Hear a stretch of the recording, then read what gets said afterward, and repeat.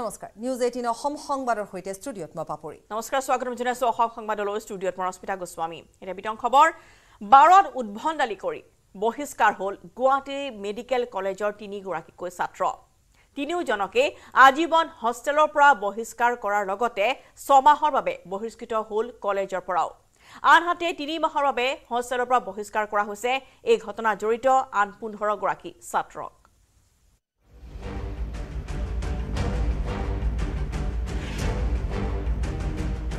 বাৰত চিকিৎসক ছাত্ৰৰ উদ্ভণ্ডালি এই ঘটনা সংঘটিত হৈছে যোৱা নিশা। যোৱা নিশা চাৰে ন বজাৰ পৰা চাৰে সাত বজাৰ পৰা চাৰে ন বজালৈকে এখন বাৰত এই বাৰখনত এইকেইগৰাকী চিকিৎসক আৰু ছাত্ৰই মিলি তাত আছিল। তিনিগৰাকীকৈ চিকিৎসক আৰু ছাত্ৰ তাত আছিল আৰু তেওঁলোকে তাত হোষ্টেলৰ যি নিয়ম থাকে সেই নিয়ম ভংগ কৰি এই বাৰখনত উপস্থিত হৈছিল। আৰু তাত তেওঁলোকে উপস্থিত হৈ তেওঁলোকে প্ৰথমতে ঠিকে আছিল। পাছলৈ পাছলৈ তেওঁলোকৰ সৈতে কাজিয়াত লিপ্ত হৈছিল বাৰৰ মেনেজাৰ তথা বাৰৰ কৰ্মচাৰীৰ সৈতে কাজিয়াত লিপ্ত হয় এনেকুৱা এটা পৰ্যায় পাই গৈ যে ইটো পক্ষই অৰ্থাৎ বাৰৰ মেনেজাৰ আৰু কৰ্মচাৰী লগতে এইফালে চিকিৎসক আৰু শিক্ষাৰ্থী ছাত্ৰ দুগৰাকী ছাত্ৰও আছিল। গতিকে তেওঁলোকে কনিষ্ঠ চিকিৎসক আছিল। গতিকে তেওঁলোকে হতাহতিলৈ আহে মাৰ পিতলৈ আহে। আৰু পৰৱৰ্তী সময়ত বাৰ মেনেজাৰজন আঘাতপ্ৰাপ্ত হয় আৰু দুগৰাকীকৈ শিক্ষাৰ্থী আঘাতপ্ৰাপ্ত হৈছে গুৰুতৰভাৱে আঘাতপ্ৰাপ্ত হৈছে। এতিয়া মূল কথাটো হৈছে যে এখন বাৰত নিশাৰ ভাগত উদ্ভণ্ডালি সৃষ্টি কৰে এটা উদ্ভ উত্তপ্ত পৰিস্থিতিৰ সৃষ্টি কৰে তাত জি এম চি এইচৰ কেইগৰাকীমান ছাত্ৰ। তথা তাৰ ভিতৰত এগৰাকী ইণ্টাৰ্ণশ্বিপো আছিল হয় এই তিনিওজনেই এডমিট কৰিলে যে তাহাঁতে মদ খাব যোৱাটো সঁচা। ছেভেন থাৰ্টিত মদ খাব গৈছিল আৰু তাতে মদ খাই ডিনাৰৰ সময়ত তাহাঁতৰ কিবা কথাত কটাকটি হ'ল। তাৰপিছত তেওঁলোকৰ মানে বাৰৰ ল'ৰাই কিবা এটা দলিয়াই আমাৰ ল'ৰা এজনক কিবা ইনজিঅ'ৰ্ড কৰিলে। আৰু লগতে তেওঁলোকৰ মাৰপিট লাগিল। মাৰপিট লগাৰ পিছত আমাৰ ল'ৰাও দুজন ইনজিঅ'ৰ্ড হৈছে তেওঁলোকৰো কাৰোবাৰ ইনজিঅ'ৰ্ড হৈছে বুলি শুনিছোঁ। ইয়াৰে এজন চিকিৎসক তেওঁ ইণ্টাৰ্ণী শুভাংশু শইকীয়া। তাৰপিছত দুজন এজন ফাইনেল ইয়েৰৰ ষ্টুডেণ্ট শশাংক কাশ্যপ আৰু এজন ঋষিকেশ দীপাছ এই তিনিজন এই তিনিজন ল'ৰাই তেওঁলোকে আমাক এডমিট কৰিছে যে হয় আমি মদ খাব গৈছিলোঁ। আৰু মদ খাইছিলোঁ মদ খোৱাৰ পিছত বিল দিয়াৰ হৈ কিবা কথা কটা কাটি হৈছিল। গতিকে তেওঁলোকে যিহেতু তেওঁলোকে নিজকে গিল ফিল কৰি মানে তেওঁলোকে এডমিট কৰিছে আমাৰ অথৰিটিৰ সন্মুখত। আৰু তেওঁলোকে আমাৰ হোষ্টেল আৰু কলেজ ৰুল যিটো আমাৰ নিয়ম ছিক্স থাৰ্টিৰ পিছত ষ্টুডেণ্ট যাব নোৱাৰে বা নটা নটাৰ পিছত ডক্টৰ যাব নোৱাৰে হোষ্টেলত ৰিপৰ্ট কৰিব লাগে। এই গোটেইখিনি কলেজ আৰু হোষ্টেল ৰুল ভায়লেট কৰাৰ কাৰণে ইনডিচিপ্লিনেৰী মানে এক্টিভিটি কৰাৰ কাৰণে আমি কলেজ কৰ্তৃপক্ষৰ পৰা তেওঁলোকক তাৎক্ষণিকভাৱে আজিৰ পৰাই তেওঁলোকক আমি ছমাহৰ পৰা কলেজৰ পৰা এক্সপেল কৰিলোঁ। আৰু লগতে ফৰ এভাৰ এই তিনিজনক আমি হোষ্টেলৰ পৰা উলিয়াই দিছোঁ। আৰু ইয়াৰ উপৰিও যিহেতু বাৰখনৰ ফালৰ পৰাও ইতিমধ্যে গোচৰ ৰুজু কৰা হৈছে এই তিনিওগৰাকী ছাত্ৰৰ বিৰুদ্ধে। গতিকে সেই গোচৰ সংক্ৰান্তটো সোধা প্ৰশ্নৰ উত্তৰত জি এম চি এইচৰ কৰ্তৃপক্ষৰ তৰফৰ পৰা কোৱা হৈছে যে সেয়া আইনী প্ৰক্ৰিয়া আৰক্ষীয়ে নিজৰ কাম কৰি যাব। গতিকে তাত তেওঁলোকৰ মাত পাতিব লগা নাই কিন্তু এক কঠোৰ স্থিতি তেওঁলোকে গ্ৰহণ কৰিছে। কাৰণ হোষ্টেলৰ সম্পূৰ্ণ ৰুল ৰেগুলেশ্যন ভংগ কৰি এইসকল ছাত্ৰ নিশাৰ ভাগত ওলাই গৈছিল। আৰু তেওঁলোকক তেওঁলোক যেতিয়া কাজিয়াত লিপ্ত হৈছিল উদ্ধাৰ কৰিবলৈ ওলাই গৈছিল আন পোন্ধৰগৰাকীকৈ ছাত্ৰ। যি চৈধ্যজন ছাত্ৰই তেওঁলোকে মাতাৰ কাৰণে গৈছিল কিন্তু তেওঁলোকে ড্ৰিংকিঙত ইনভলভ নাছিলে। বা তেওঁলোকে হোষ্টেলত পঢ়ি আছিলে পঢ়ি থকাৰ পিছত যেতিয়া এঘাৰ বজা এঘাৰটা চাৰে এঘাৰটা বজাত তেওঁলোকক মাতিলে তেওঁলোক গ'ল।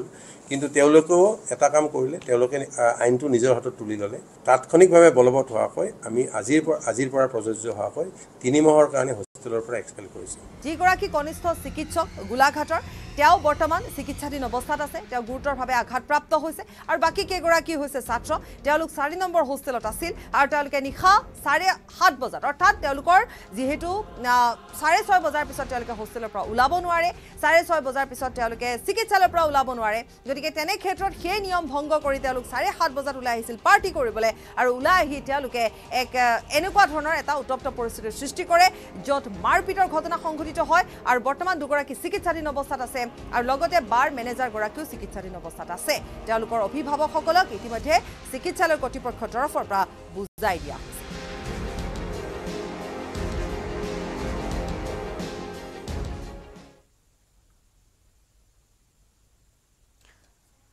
আন এটা ব্ৰেকিং নিউজ গুৱাহাটীত পুনৰ চাঞ্চল্যকৰ ধন লুট। মহানগৰীত একেদিনাই দুটাকৈ ধন লুটৰ ঘটনা সংঘটিত হৈছে। খ্ৰীষ্টান বস্তিৰ পিছত আঠগাঁৱত ধন লুট দুৰ্বৃত্তৰ আঠগাঁৱত বাইকত অহা দুৰ্বৃত্তই লুটিলে পাঁচ লাখ টকা। বেংকৰ পৰা উলিয়াই অনা ধন লুট কৰে দুৰ্বৃত্তই খ্ৰীষ্টান বস্তিৰ চিটি চেণ্টাৰতো ধন লুটৰ ঘটনা। এগৰাকী মহিলাৰ বেগৰ পৰা দহ হাজাৰ টকা লুটি লৈ যায়। বুধবাৰেও জি এছ ৰোডত সংঘটিত হৈছিল ধন লুটৰ ঘটনা। লাচিত নগৰত ৰখাই থোৱা এখন বাহনৰ গ্লাছ ভাঙি লুটিছিল দুই লক্ষাধিক টকা। ধাৰাবাহিক ধন লুটক লৈ এতিয়া শংকিত হৈ পৰিছে। মহানগৰী পুনৰ এবাৰ জনাইছো এই মুহূৰ্তত যে গুৱাহাটীত পুনৰ চাঞ্চল্যকৰ ধন লুটৰ ঘটনা সংঘটিত হৈছে। একেদিনাই দুটাকৈ ধন লুটৰ ঘটনা। খ্ৰীষ্টিয়ান বস্তিৰ পিছত এইবাৰ আঠগাঁৱত ধন লুট কৰিছে দুৰ্বৃত্তই আঠগাঁৱত বাইকত অহা দুৰ্বৃত্তই পাঁচ লাখ টকা লুটি লৈ গৈছে। বেংকৰ পৰা ওলাই অনা ধন লুট কৰে দুৰ্বৃত্তই খ্ৰীষ্টিয়ান বস্তিৰ চিটি চেণ্টাৰতো ধন লুট। আৰু ইফালে এগৰাকী মহিলাৰ বেগৰ পৰা দহ হাজাৰ টকা লুটি লৈ গৈছে। তাৰ এদিনৰ পূৰ্বে লাচিত নগৰত ধন লুটৰ ঘটনা সংঘটিত হৈছে। সঘনাই এনেধৰণে দুৰ্বৃত্তই ধন লুট কৰা কাণ্ডক লৈ এতিয়া শংকিত হৈ পৰিছে মহানগৰবাসী।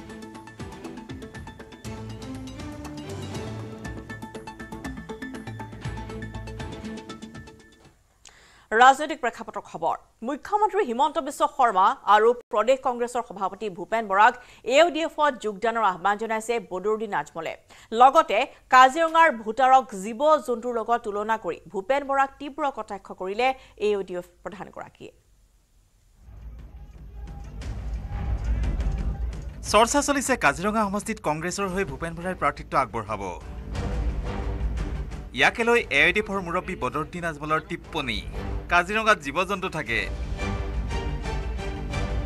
ভূপেন বৰাক জীৱ জন্তুসকলৰ ভোট লাগে বাবে তালৈ গৈছে। কাজিৰঙাত চবে জানে মানুহ কম থাকে জানুৱাৰী বেছি থাকে। তাত গৈ কেণ্ডিডেট হ'ব। তাততো মানুহেই নাপাব ভোট কোনে দিব? কাজিৰঙাত গৈ জানুৱাৰী ভোট দিব লাগিব। লোকসভা নিৰ্বাচনক লৈ ইতিমধ্যেই খদমদম আৰম্ভ হৈ গৈছে দেশত। এই যুঁজত নামিবৰ বাবে অকলশৰীয়াকৈ সাজু হৈছে এ আই ডি এফ দলো। পূৰ্বে আন ৰাষ্ট্ৰীয় দলৰ অনুগ্ৰহ বিচাৰি ফুৰা বদৰুদ্দিন আজমলে এইবাৰ আকৌ আহ্বান জনাইছে ভূপেন বৰাৰ টীম আৰু হিমন্ত বিশ্ব শৰ্মাৰ টীমক এ আই ডি এফত যোগ দিবলৈ। বিজেপিৰ পৰা আপোনালোক দুইজন পাৰি আহক। কংগ্ৰেছো বিজেপিৰ পৰা আঁতৰাই আহক। আমি ইনভাইট কৰি আছোঁ। নিৰ্বাচন আহিলে ৰাইজৰ দৃষ্টি আকৰ্ষণ কৰিবলৈ নেতাই যি টি কথা কৈয়েই আজমলে আকৌ সাংবাদিককে সুধিলে মোৰ ৰাজনৈতিক অৱস্থা কেনে বুলি আপোনালোকে ভাবে? নিৰ্বাচনত কি হ'ব? অৱশ্যে আজমলৰ দাবী আগন্তুক লোকসভা নিৰ্বাচনত ধুবুৰী লোকসভা সমষ্টিৰ পৰা অতি কমেও সাত আঠ লাখ ভোটত তেওঁ জিকিব। নিৰ্বাচনত জিকিব বুলি আত্মবিশ্বাসী হৈ তেওঁ হেনো কিনিছে নতুন কাপোৰো। একদম হাণ্ড্ৰেড পাৰ্চেণ্ট কাপোৰ তাপোৰ চাহ নতুন কাপোৰ পিন্ধিছোঁ ইলেকশ্যনৰ কাৰণে? আলহামদুলিল্লাহ জিকাৰ কাৰণে। কালি ইলেকশ্যন নাই ইলেকশ্যনৰ পিছত জিকাৰ কাৰণেও নতুন কাপোৰ চিলাই আনিছোঁ। আজমল জয়ী হ'ব বুলি নিশ্চিত হৈ থকাৰ যুক্তি আগবঢ়াই তেওঁ ক'লে তেওঁৰ সন্মুখত হেনো এতিয়ালৈকে কংগ্ৰেছৰ কোনো প্ৰাৰ্থীয়েই নাই। গতিকে প্ৰতিদ্বন্দ্বিতা হ'ব কাৰ লগত? বিৰোধী মহাজোঁটে আস্থাত লোৱা নাছিল আজমলক। সেইকাৰণে এতিয়া আজমলে সুবিধা পালেই কংগ্ৰেছলৈ এৰে আক্ৰমণৰ শৰ ভূপেন খৰাৰ কাপোৰ তাপোৰ খাৰাপ হৈ আছে। পাৰ্টি প্ৰেচিডেণ্ট না। মানে সি কৈছে কি যে আমাৰ পঁচিছজনৰ ভিতৰত চৌব্বিছজন বিজেপিৰ লগত মিলাই লৈছে। একজন যদি বাকী থাকে সেইটো হ'লে হেমন্ত বিশ্ব শৰ্মা। মতলব তাৰ লগত কোনো মানুহেই নাই তাৰ। ধুবুৰীৰ পৰা জ্যোতিৰ্ময় চক্ৰৱৰ্তীৰ report News Eighteen Assam North East.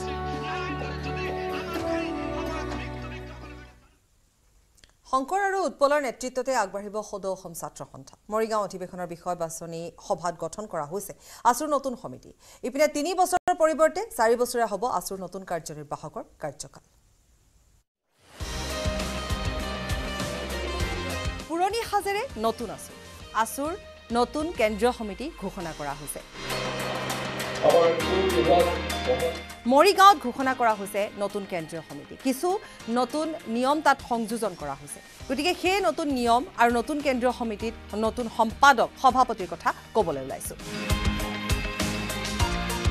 Utpal Sharma আছুৰ নতুন সভাপতি সাধাৰণ সম্পাদক হিচাপে পুনৰ নিৰ্বাচিত হৈছে শংকৰজ্যোতি বৰুৱা। বিষয়ববীয়া সভাতো নতুন কমিটি ঘোষণা কৰা হৈছে। ভাৰপ্ৰাপ্ত সভাপতি আছিল উৎপল শৰ্মা। মুখ্য উপদেষ্টা হিচাপে এতিয়াও সমুজ্জ্বল কুমাৰ ভট্টাচাৰ্য থাকিব। চাৰি বছৰীয়া হ'ব আছুৰ নতুন কাৰ্যনিৰ্বাহকৰ কাৰ্যকাল। পূৰ্বে এই কাৰ্যকাল তিনি বছৰীয়া আছিল। মহকুমা আছু এতিয়া উঠাই দিয়া হৈছে জিলা আছু থাকিব। গতিকে এনেধৰণে কিছু নতুন নিয়ম তাত সংযোজন কৰা হৈছে। বয়সৰ কথা আহিছে আৰু লগতে তাত শিক্ষাগত অৰ্হতাৰ কথাও আহিছে। কিন্তু যি দেখিবলৈ পোৱা গৈছে তাত বৰ্তমান আমি কৈছোৱে যে পুৰণি সাজে আছে কিন্তু নতুন ৰূপত আছু। এইখিনি সময়ত জাতীয় শ্বহীদসকলৰ ত্যাগক শ্ৰদ্ধাৰে সোঁৱৰিছোঁ তেখেতসকলৰ আশীৰ্বাদ বিচাৰিছোঁ যাতে যি আস্থা আৰু বিশ্বাসেৰে সৈতে আমাৰ ওপৰত এই দায়িত্বভাৰ অৰ্পণ কৰা হৈছে সেই আস্থা সেই বিশ্বাসত কোনোদিন আঁচোৰ পেলাব নালাগে। তাৰ কাৰণে জাতীয় জীৱনত কাম কৰি যাওঁতে ৰাইজৰ অভিভাৱকত্ব কামনা কৰিছোঁ আশীৰ্বাদ কামনা কৰিছোঁ। মৰিগাঁৱত সদৌ অসম ছাত্ৰ সন্থাৰ অষ্টাদশ অধিৱেশন আছিল আৰু এই অধিৱেশনত বৃহস্পতিবাৰে এইখিনি সিদ্ধান্ত গ্ৰহণ কৰা হৈছে। আৰু এই সিদ্ধান্তখিনি আহ, পিছত আচলতে তাত যিসকল বিষয়ববীয়া আছিলে বা যিহেতু এতিয়া কোৱাই হৈছে যে বয়সৰ যিখিনি সীমা থাকিব সেই সীমাৰ কথাও কৈ দিয়া হৈছে। আৰু লগতে আমন্ত্ৰিত সদস্য থাকিব। এই আমন্ত্ৰিত সদস্যসকলৰ কোনো বয়স নিৰ্ধাৰণ কৰি দিয়া হোৱা নাই। কিন্তু পুনৰ এবাৰ কৈছোঁ যে আছুৰ নতুন সভাপতি সম্পাদক বাছনি কৰা হৈছে।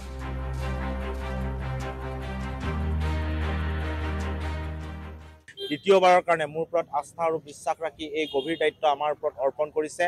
মই এই মুহূৰ্তত এটাই প্ৰতিশ্ৰুতি দিব বিচাৰিছোঁ যি আস্থা আৰু গভীৰ আশাৰে তেখেতসকলে আমাৰ ওপৰত যি দায়িত্ব অৰ্পণ কৰিছে সেই দায়িত্ব আমি সততা আৰু নিষ্ঠাৰে পালন কৰি যাবলৈ প্ৰতিশ্ৰুতিবদ্ধ।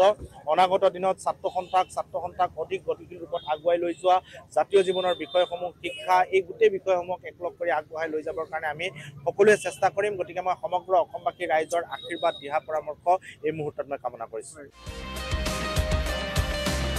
ইফালে আহ, সমুজ্জ্বল কুমাৰ ভট্টাচাৰ্যৰ এটাই কথা যে মাধ্যমক লৈ যি চৰকাৰৰ স্থিতি সেয়া সলনি কৰিবই লাগিব কাৰণ ছাত্ৰ ছাত্ৰীসকলৰ ভৱিষ্যতৰ কথা আছে। ছাত্ৰ ছাত্ৰীৰ ভৱিষ্যতৰ সৈতে হেতালি খেলিব নোৱাৰিব চৰকাৰে। সকলো বিষয়ত ছাত্ৰ ছাত্ৰীৰ সুৰক্ষিত সুৰক্ষিত শৈক্ষিক ভৱিষ্যত নিশ্চিত কৰিবৰ কাৰণে অসমত খিলঞ্জীয়া মানুহৰ প্ৰভুত্বৰ নিৰন্তৰ ৰাখিবৰ কাৰণে অসম চুক্তিৰ প্ৰত্যেকটো দোফা ৰূপায়ণৰ কাৰণে সাংবিধানিক ৰক্ষা কৱচ সম্পৰ্কত বিপ্লৱ শৰ্মা কমিটিয়ে দিয়া ৰূপা প্ৰতিটো পৰামৰ্শ কাৰ্যকৰী কৰিবৰ কাৰণে কা বাতিলৰ কাৰণে প্ৰতিটো বিষয়ত যেতিয়ালৈকে চৰকাৰে ফলাফল নিদিয়ে তেতিয়া সংগ্ৰাম।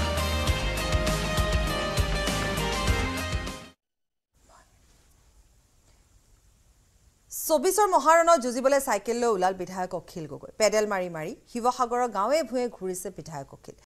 য'ত যাকে লগ পাইছে তাতে কৰিছে মত বিনিময় গৈছে জনতাৰ ঘৰলৈ।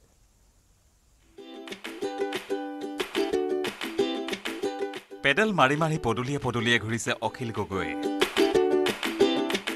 নিজৰ সমষ্টিৰ চুকে কোণে বিধায়ক অখিল গগৈ আৰম্ভ কৰিছে চাইকেল যাত্ৰা। বিছ নৱেম্বৰৰ পৰা প্ৰতিদিনে দলীয় সতীৰ্থক লগত লৈ পুৱাৰে পৰা বেলি পৰালৈকে পেডেল মাৰি মাৰি শিৱসাগৰ সমষ্টিৰ প্ৰতিখন পঞ্চায়তৰ গাঁৱে গাঁৱে এইদৰে চাইকেলেৰে ভ্ৰমণ কৰিছে বিধায়কগৰাকীয়ে। আমি চেষ্টা কৰিছোঁ যে অসমৰ প্ৰতিখন গাঁৱলৈ যাওঁ। প্ৰতিখন গাঁৱৰ মানুহৰ দুখ দুৰ্দশাৰ বুজ লওঁ।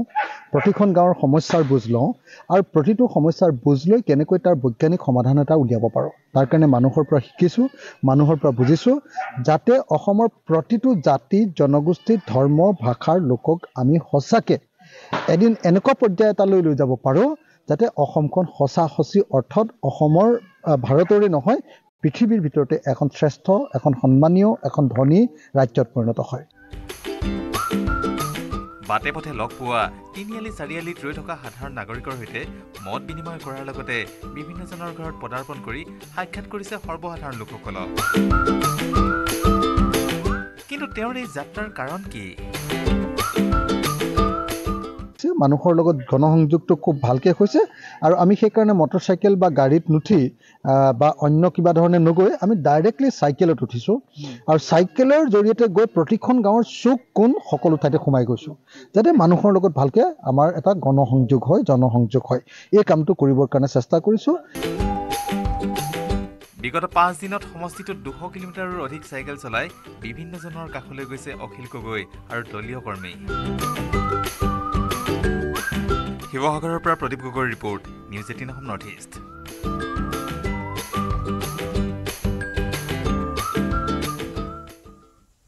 বক্ৰপথৰে এ পি এছ চিৰ চাকৰি লোৱা চৌত্ৰিছজনকৈ ৰাজপত্ৰিত বিষয়াক এছ আই টিয়ে নতুনকৈ জাননী দিয়া দুজনক গ্ৰেপ্তাৰ কৰাৰ পিছতেই প্ৰথমবাৰলৈ প্ৰতিক্ৰিয়া প্ৰকাশ কৰিছে এ পি এছ চি কেলেংকাৰী তদন্ত আয়োগৰ অধ্যক্ষ বিপ্লৱ কুমাৰ শৰ্মাই। তদন্ত নিয়াৰিকৈ কৰি প্ৰতিবেদন দাখিল কৰা হৈছে বুলি সাংবাদিকৰ আগত মন্তব্য কৰি ন্যায়াধীশ শৰ্মাই কয় যে এই তদন্ত আছিল অতি জটিল আৰু প্ৰত্যাহ্বানমূলক।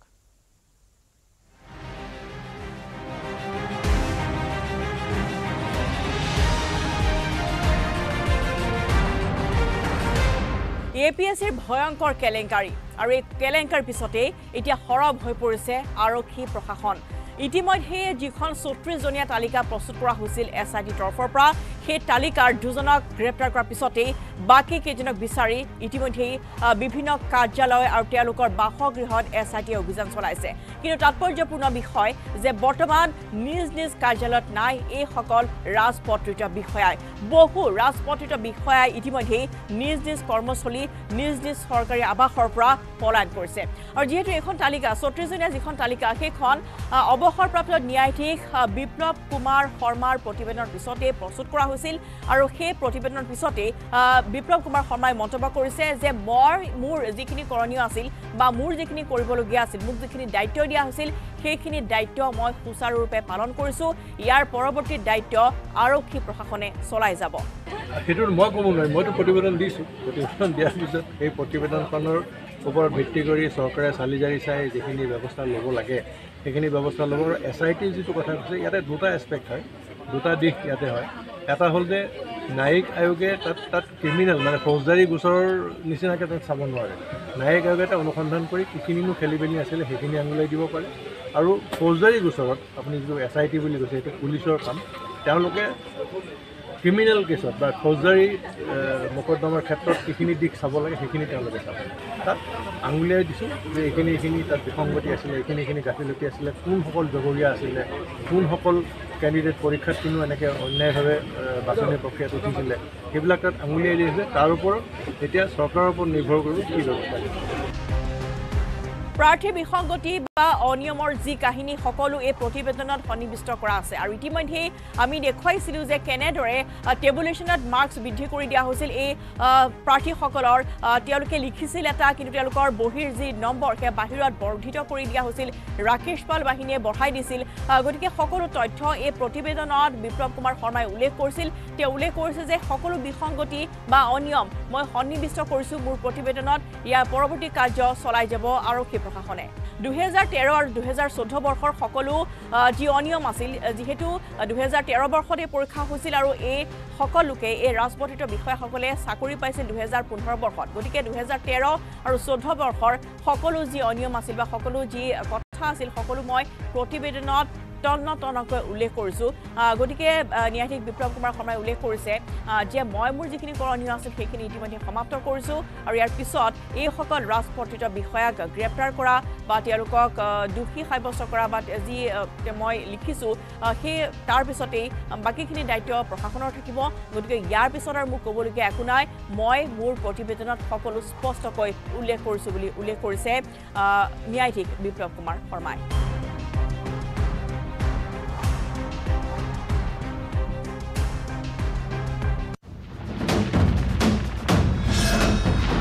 ভাৰতৰ গৌৰৱ গোটেই বিশ্বতেই ইয়াৰ সন্মান ষ্ট্ৰং মানে মাইথান ষ্টীল।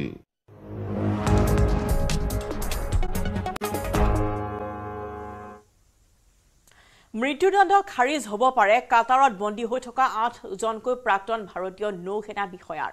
কাটাৰ আদালতত ভাৰত চৰকাৰে দাখিল কৰিছে আবেদন। উল্লেখযোগ্য যে গুপ্তচৰৰ অভিযোগত দোষী সাব্যস্ত হোৱা আঠ ভাৰতীয় নৌ সেনা বিষয়াক দিছিল মৃত্যুদণ্ড। কাটাৰত বন্দী হৈ থকা আঠ ভাৰতীয় নৌসেনা বিষয়াৰ শাস্তি ৰদ হ'ব নেকি? কাটাৰত কেপ্টেইন চেইলৰ পদবীৰ আঠ নৌসেনা বিষয়াক মৃত্যুদণ্ড দিয়া হৈছে। ভাৰত চৰকাৰে হস্তক্ষেপ কৰিছে। ভাৰতে যিখন আবেদন দাখিল কৰিছিল কাটাৰ আদালতত সেই আবেদনখন গ্ৰহণ কৰা হৈছে। কাটাৰলৈ এই ভাৰতীয় সেনা বিষয়াসকলে ভাৰতত চাকৰি সমাপ্ত কৰি অৱসৰ লোৱাৰ পিছত গৈছিলে আৰু সেই দেশখনৰ এটা প্ৰতিষ্ঠান অল দাহাৰা নামৰ এটা প্ৰতিষ্ঠানৰ সৈতে জড়িত হৈ পৰিছিল। এই প্ৰতিষ্ঠানটোৱে নিৰ্মাণ কৰে ছাবমেৰিন আৰু এওঁলোকৰ বিৰুদ্ধে অভিযোগ উত্থাপন হৈছিলে ছাবমেৰিন নিৰ্মাণৰ প্ৰক্ৰিয়াটোত যিসমূহ তথ্য তেওঁলোকে লাভ কৰিছিল সেই তথ্যসমূহ ইজৰাইলক বেচাৰ অৰ্থাৎ গুপ্তচৰৰ ভূমিকা পালন কৰাৰ। আৰু কাটাৰৰ এখন আদালতত এই অভিযোগ প্ৰমাণিত হোৱাৰ পিছত আঠ ভাৰতীয় সেনা বিষয়াক মৃত্যুদণ্ড দিয়া হৈছিল। দুহেজাৰ বাইছ চনৰ আগষ্টত আঠ নৌসেনা বিষয়াক গ্ৰেপ্তাৰ কৰা হৈছিল শুনানি চলিল আৰু শুনানি শেষ হোৱাৰ পিছত অক্টোবৰৰ ছাব্বিছ তাৰিখে এওঁলোকক মৃত্যুদণ্ডৰ শাস্তি প্ৰদান কৰা হ'ল। ভাৰত চৰকাৰে হস্তক্ষেপ কৰাৰ পিছত এই আঠ সেনা নৌসেনা বিষয়াৰ যি শাস্তি সেই শাস্তি ৰদ হয়নে নহয় সেয়া লক্ষণীয় হ'ব।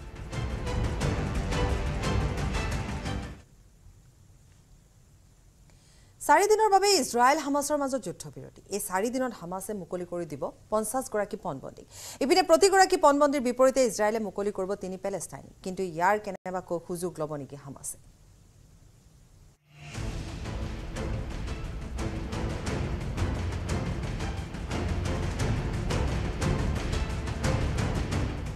ইজৰাইল আৰু হামাছৰ যুদ্ধৰ আজি হ'ব যুদ্ধবিৰতি। আৰু এই যুদ্ধবিৰতিৰ চৰ্ত আছে। সেই চৰ্ত সাপেক্ষে এই যুদ্ধবিৰতি ঘোষণা কৰা হৈছে। আৰু বিশেষকৈ কাটাৰ আৰু আমি কৈছোঁৱেই যে আমেৰিকাৰ পৰা যি ধৰণৰ এটা হেঁচা আহিলে বা যি মধ্যস্থতাকাৰী হিচাপে আছে গতিকে তাৰ ওপৰত ভিত্তি কৰি এতিয়া ইজৰাইলেও সন্মতি প্ৰকাশ কৰিলে যে তেওঁলোকেও যুদ্ধবিৰতিত তেওঁলোকৰো সন্মতি আছে। আৰু তাৰ বিনিময়ত তেওঁলোকে তেওঁলোকৰ তাত ইজৰাইলৰ জেলত আবদ্ধ হৈ থকা কাৰাগাৰত আবদ্ধ হৈ থকা পেলেষ্টাইনীসকলক মুকলি কৰি দিব আৰু এশ পঞ্চাছগৰাকী পেলেষ্টাইনী মুকলি কৰি দিব আৰু এইফালে হামাছে মুকলি কৰি দিব পঞ্চাছগৰাকী পণবন্দী এয়া হৈছে তেওঁলোকৰ এটা চৰ্ত আৰু সেই চৰ্ত অনুযায়ী আজি এই যুদ্ধবিৰতি হ'ব। আজি শুকুৰবাৰ গতিকে আজি যুদ্ধবিৰতি হ'ব। কিন্তু কথা হৈছে আজি যুদ্ধবিৰতি। কিন্তু কথা হৈছে ইজৰাইলে প্ৰথম অৱস্থাৰ পৰাই ভয় খোৱাৰ দৰে কাৰণ এইখিনি মন কৰিব হামাছে পূৰ্বৰ পৰাই। হামাছে সাত অক্টোবৰত আক্ৰমণ কৰাৰ পিছত কিন্তু লাহে লাহে হামাছৰ স্থিতি নৰম হৈছিল আৰু যেতিয়া ইজৰাইলে ভয়ংকৰ আক্ৰমণ আৰম্ভ কৰিছিল তেতিয়া কিন্তু হামাছে কৈছিল যে তেওঁলোকে যুদ্ধবিৰতি বিচাৰে তেওঁলোকে আলোচনা বিচাৰে তেওঁলোকৰ যিখিনি চৰ্ত আছে সেই চৰ্তখিনি তেওঁলোকে পাতিব বিচাৰে। সেই কথা তেওঁলোকে উল্লেখ কৰিছিল। গতিকে এতিয়া যেতিয়া ইজৰাইল সন্মত হ'ল বিশেষকৈ কাটাৰ আৰু আমেৰিকাৰ মধ্যস্থতাত যিহেতু ইজৰাইল সন্মত হ'ল ইয়াৰ কেনেবাকৈ সুযোগ উঠাব নেকি হামাছে? এতিয়া সবাতোকৈ ডাঙৰ কথাটোৱে হৈছে সেইটো। ইজৰাইলে কৈছে যে চাৰিদিনৰ যুদ্ধবিৰতিৰ পিছত ইজৰাইলে পুনৰ আক্ৰমণ কৰিব হামাছক। পুনৰ আক্ৰমণ কৰিব হামাছক উৎখাত কৰিব হামাছৰ ঘাটি উৎখাত কৰিব। যিসমূহ চিকিৎসালয়ত কথা কৈ থকা হৈছে তাত ভিতৰ ভাগত হামাছে ডাঙৰ ডাঙৰ তাত সুৰংগ কৰি টানেল সৃষ্টি কৰি তাত হামাছ লুকাই আছে। তেওঁলোকে ভিতৰত সুন্দৰ সুন্দৰ তেওঁলোকে কোঠালি নিৰ্মাণ কৰিছে য'ত তেওঁলোকৰ সকলো ব্যৱস্থাপনা থাকে। এনেকুৱাবোৰ কোঠালিও ইতিমধ্যে ইজৰাইলে অৰ্থাৎ আই ডি এফে উৎখাত কৰা বুলি আই ডি এফৰ তৰফৰ পৰা জনোৱা হৈছে। কিন্তু হামাছে এতিয়াও সেইখিনি কথা মানি নাই লোৱা। তেওঁলোকৰ মতে বা সেই চিফা চিকিৎসালয়ৰ মতে যে তাত কোনো ধৰণৰ হামাছৰ ঘাটি নাই। যিয়ে নহওক।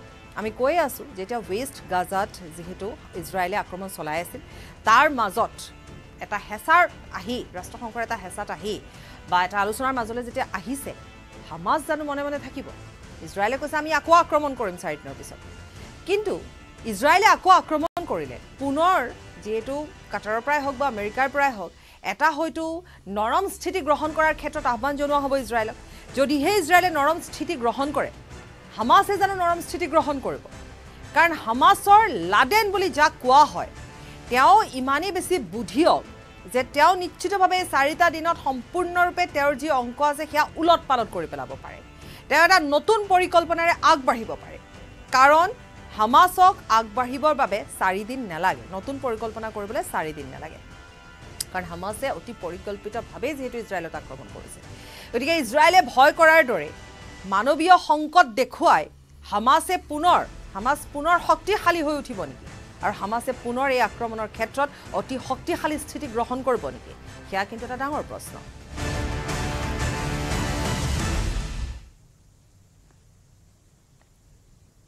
আৰু এতিয়া গৃহযুদ্ধত হাহাকাৰ পৰিৱেশ গৃহহাৰা হৈ পৰিছে ম্যানমাৰৰ বাসিন্দা। দুহেজাৰ একৈছৰ মে'ৰ পৰা দুহেজাৰ তেইছৰ একত্ৰিছ অক্টোবৰলৈ ম্যানমাৰত স্থানচ্যুত হৈ আছে বিছ লাখৰো অধিক লোক। সংঘৰ্ষৰ ফলত জ্বলিছে প্ৰায় সাতসত্তৰ হাজাৰ বাসগৃহ।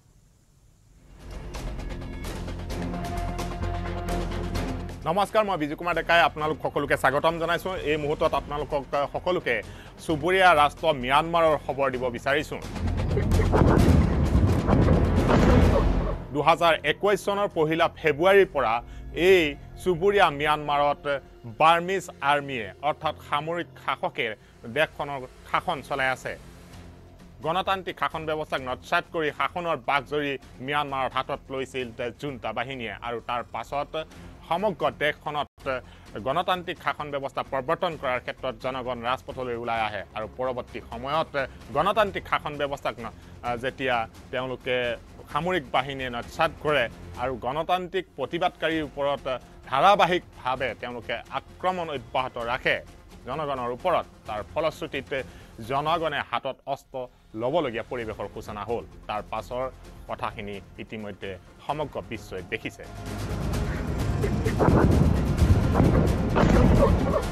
প্ৰতিনিয়ত তাত যুদ্ধ চলি আছে।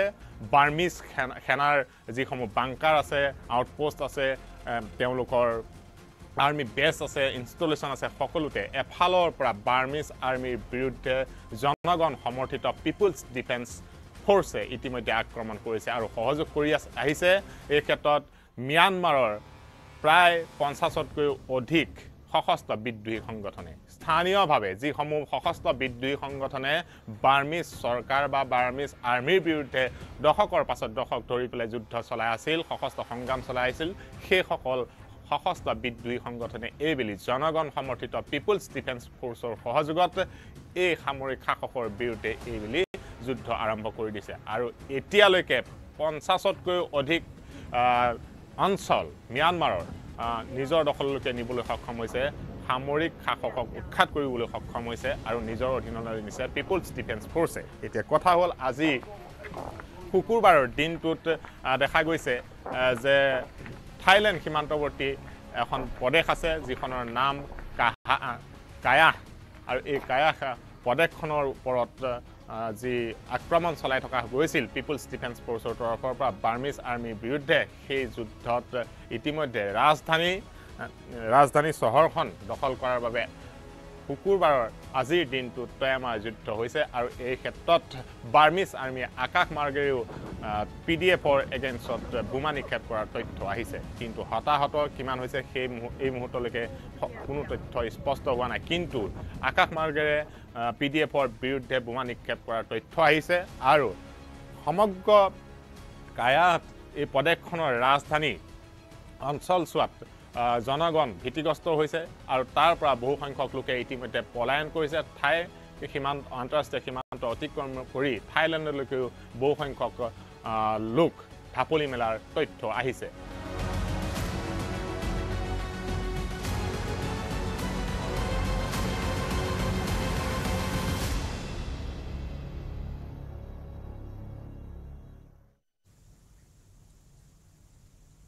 আৰু এতিয়া চাওঁ হওক টপ টেন হেডলাইনছ